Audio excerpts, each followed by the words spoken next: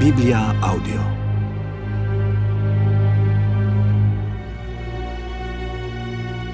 Pierwszy list do Koryntian.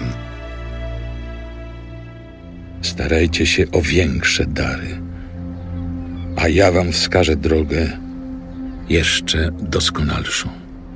Gdybym mówił językami ludzi i aniołów, a miłości bym nie miał, stałbym się jak miedź brzęcząca albo cymbał brzmiący.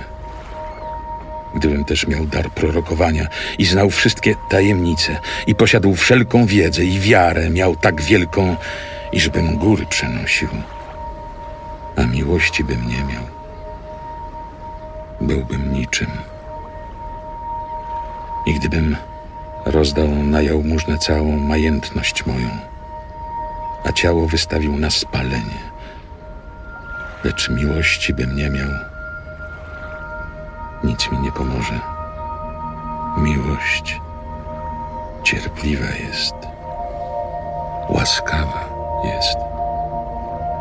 Miłość nie zazdrości, nie szuka poklasku, nie unosi się pychą, nie jest bezwstydna, nie szuka swego, nie unosi się gniewem, nie pamięta złego, nie cieszy się z niesprawiedliwości, lecz współweseli się z prawdą.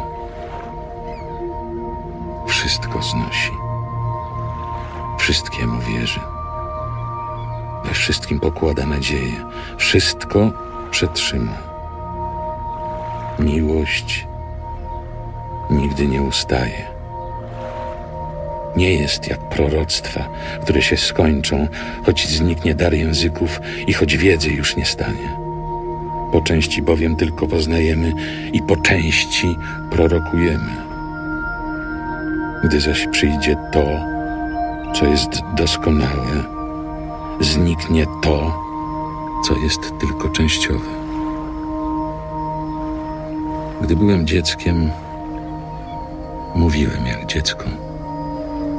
Czułem jak dziecko. Myślałem jak dziecko. Kiedy zaś stałem się mężem, wyzbyłem się tego, co dziecinne. Teraz widzimy jakby w zwierciadle, niejasno. Wtedy zaś ujrzymy twarzą w twarz. Teraz poznaję po części, wtedy zaś będę poznawał tak, jak sam zostałem poznany. Tak więc trwają wiara, nadzieja, miłość. Te trzy. Największa z nich jednak jest miłość.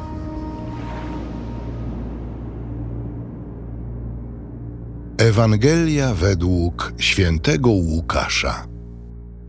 I cały lud, który go słuchał, a nawet celnicy przyznawali słuszność Bogu, przyjmując chrzest Janowy. Faryzeusze zaś i uczeni w prawie udaremnili zamiar Boży względem siebie, nie przyjmując chrztu od Niego.